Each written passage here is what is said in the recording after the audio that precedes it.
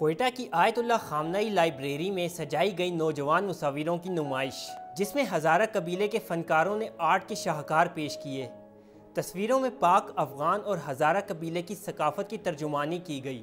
Pencil art اور oil paint کے ذریعے نوجوان مصوروں نے صلاحیتوں کا مظاہرہ کیا۔ اس تصویر کو دیکھ رہی ہے ایک افغانی خواتین ہیں جو برقع اس کے سر میں ہے اور اس کے آنکھیں یا اس کے جو مسائل ہے وہ اچھی طریقے سے پینٹنگ کیا ہے اور رکھا ہوا ہے۔ نوجوان مصوروں کا کہنا تھا کہ ہزارہ ٹاؤن میں کافی ٹیلنٹ ہے لیکن مسائل کی وجہ سے سامنے نہیں آ پاتا۔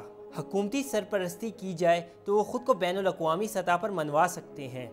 کافی اسٹوڈنٹ ہے جو ہزار ٹاؤن میں ٹیلنٹ ہے لیکن حکومت کی طرف سے کوئی بھی سپورٹ نہیں کرتا ہے۔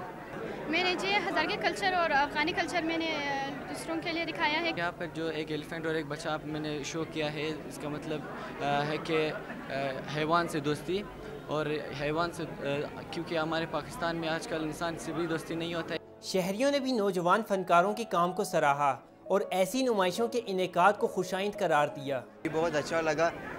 ہمارے دوستوں نے بہت انجوائے کیا ادھر۔ منتظمین کا کہنا تھا کہ نمائش کا مقصد ہزارہ قبیلے کے افراد کے ٹیلنٹ کو سامنے لانا ہے، تاکہ انہیں اپنی صلاحیتوں کو پروان چڑھانے کا موقع مل سکے۔ کیمرامین شہزاد انور کے ساتھ محمد عاطف سما، کوئٹہ۔